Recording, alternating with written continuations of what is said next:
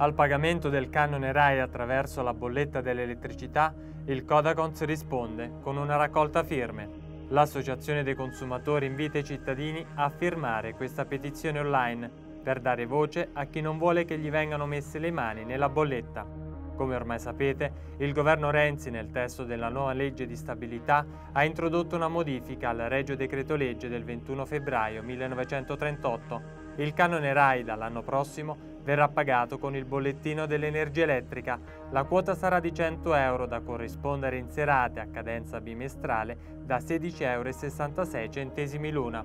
Ci sono altre due novità. Il provvedimento riguarderà i contratti domestici e saranno esclusi coloro che non posseggono né un televisore né un accesso internet in casa. Questi ultimi dovranno inviare un'autocertificazione alla società erogatrice del servizio elettrico per non pagare la tassa. Chi invece produce certificazioni false compie un reato addirittura punibile fino a due anni di carcere, 500 euro inoltre la sanzione per chi evade l'imposta.